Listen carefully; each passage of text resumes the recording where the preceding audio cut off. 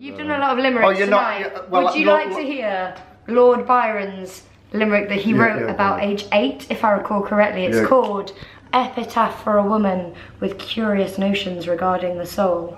In Nottingham County, there lives at Swan Green a curious, uh, sorry, at Nottingham County, there lives at Swan Green a wretchedest creature as ever was seen, and when she does die, which I hope will be soon, she firmly believes she will go to the moon.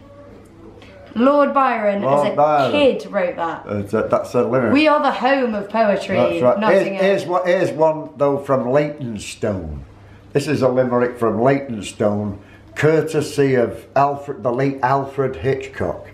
This he was a, he was born in Leytonstone, East London, and this is his favourite limerick. Okay. There once was a woman in Ongar who had an affair with a conger. When asked how it feels to make love to an eel. She said, just like a bloke, only longer.